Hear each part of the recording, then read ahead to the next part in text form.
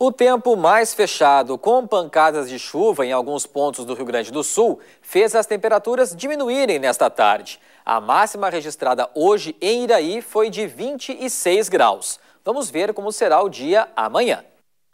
Uma massa de ar frio avança pelo sul ao longo desta sexta-feira e encontra o ar quente e úmido que está sobre a metade norte do estado. O resultado é a formação de nuvens, diminuindo os períodos de sol. A chuva fraca pode vir em pontos isolados e de forma irregular. Em Porto Alegre, o dia começa com 16 graus e bastante nebulosidade. Pode chover fraco em alguns pontos do litoral sul. Faz 23 graus em Pelotas. O dia começa com nevoeiro em Erechim, no norte gaúcho. A mínima é de 13. O sol aparece na região central, mas os termômetros não sobem muito. Faz 20 graus em Santa Maria. E o mesmo acontece na fronteira oeste. Tempo bom e temperaturas amenas. A máxima é de 21 em Itaqui. Realizada anualmente, a Feira de Oportunidades é uma importante ação de incentivo à qualificação profissional no Rio Grande do Sul.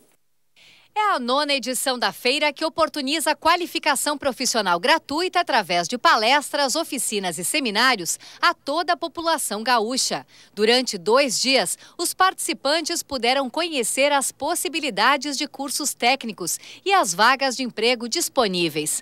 Para atender, foram montados 60 pontos do SENAC em diferentes cidades do estado. Ela foi concebida para acontecer próxima do dia do trabalho, então é na semana anterior ou na semana posterior, e sempre com esse objetivo de discutir a educação, a educação profissional e as oportunidades que uma, uma maior educação propiciam para quem quer ingressar no mundo do trabalho. O tema desta edição é o grande lance a se capacitar, procurando relacionar as oportunidades da educação com a Copa do Mundo que está aí. Realizada anualmente, a Feira de Oportunidades é uma das ações mais importantes de qualificação profissional do Rio Grande do Sul.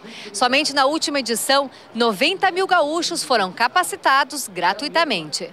Na capital, em frente ao mercado público, pessoas de diferentes perfis e idades puderam assistir palestras profissionalizantes e conversar com especialistas sobre o mercado de trabalho. Os participantes foram cadastrados e receberam certificado no final.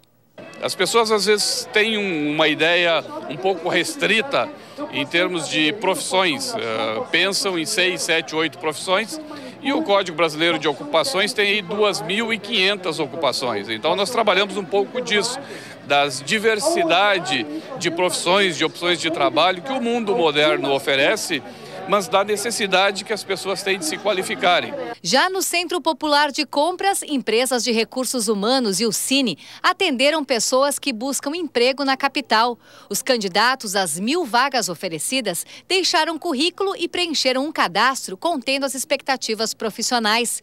Dimitri e Angélica estão esperançosos. Vai ajudar eu aplicar o meu conhecimento de do idioma inglês, da língua inglesa, no mercado de trabalho, que precisa tanto. Vai me dar visibilidade no mercado através das empresas de recursos humanos conceituados que estão aqui encaminhando estudantes. Espero conseguir uma vaga na área de estágio ou de efetivo, né? Uh, procurando na, na, área de gastronomia. Eu quero ser chefe de cozinha, né? então eu quero estudar e ter um estágio, arrumar um efetivo para conseguir mais experiência na minha área, né? A Prefeitura de Porto Alegre fez hoje a abertura da campanha do Agasalho 2014. As doações podem ser feitas até o dia 12 de agosto. O Paço Municipal é um dos locais de arrecadação.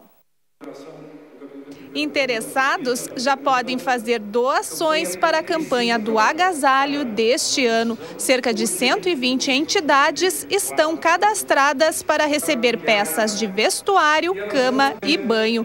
Pela terceira vez consecutiva, também vão ser beneficiados os animais. No ano passado, nós tivemos a alegria de poder contar com a solidariedade das pessoas os cidadãos de Porto Alegre e conseguimos arrecadar 138 mil itens, incluindo aí pessoas e bichos. Esse ano a nossa expectativa é superar essa marca.